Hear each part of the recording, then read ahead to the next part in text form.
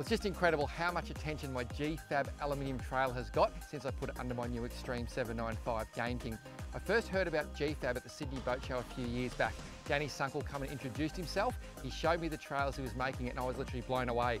These things aren't just boat trailers, they are literally a work of art and a fashion statement. When you look underneath the boat and you see one of these, you literally just go, holy moly, that is amazing. This thing, it blows people away. Now, I'm not mechanically minded, I'm not engineer minded, if that makes sense, but every person who has seen this trailer that has ever picked up a welder, just the draw literally drops to the ground. This aluminium construction, the welds, everything about it is absolute perfection. From the 70mm coupling down here, all that hardware, just look how tough it is. And little things like the best jockey wheel in the business. And you wouldn't believe it, I've had boats for over 20 years I've never had a jockey wheel that is actually on the correct side of the trailer, which is that side, and finally GFAB got it right. Now when I'm backing up to the ball, I can have a look. When I get it right, I don't have to step over the drawbar every time. And come and have a look at some of this stuff. In the old days, people bought beautiful boats, then just put any crappy trailer underneath them, and that trend is changing. You're gonna buy a beautiful boat, you'll want a beautiful boat trailer.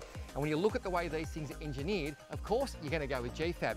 One thing that's very, very important, they don't just mass produce trailers, they specifically build every trailer to suit the exact boat and hull. So she fits absolutely beautifully on the trailer, no moving. I've seen boats in the past rocking and rolling, all the bits aren't even touching. When you look at these keel rollers, how beautiful is that? All this support, support on the edge with those slides, and then the great thing that I love, a massive V at the back, so no matter where I come in, even if the nose hits here, it's gonna slide along that Teflon, find the middle, go straight up the guts, and fit absolutely beautifully every time.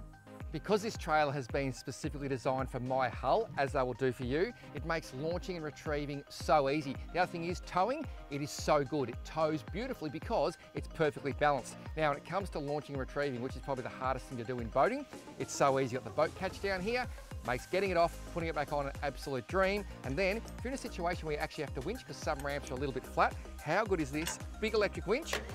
She will just bring her in, no dramas at all, and it's even remote control. The battery in the box there supplies the winch, and it's even got a little charging cord and comes with a charger. So when I get home, I bang it in, I've always got 100% battery. Seriously, these guys at GFAB, they have taken trailers to the next level. Make sure you check them out at gfabtrailers.com, and then you'll understand why I'm so happy with mine.